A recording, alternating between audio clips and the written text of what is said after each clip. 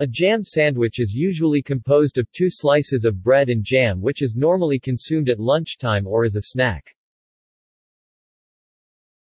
Origin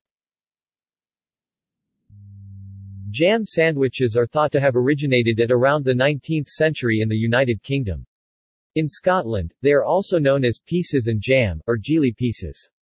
The jam sandwich was an affordable food which was a major part of the diets of the lower, working-class people of cities such as London and Glasgow. One plausible reason for this was that the ingredients that the jam sandwiches were made from cost little to manufacture and due to taxes being lifted on sugar in 1880, it became widely available as a cheap foodstuff. Today, jam sandwiches are mainly consumed by children. Shops do not often sell individual jam sandwiches. Ingredients and nutrition.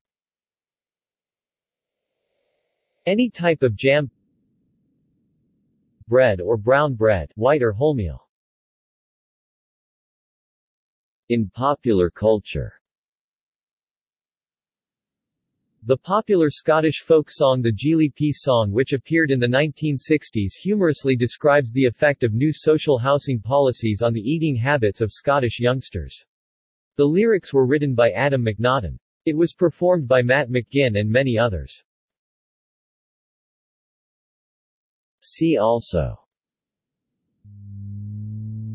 List of sandwiches Peanut butter and jelly sandwich References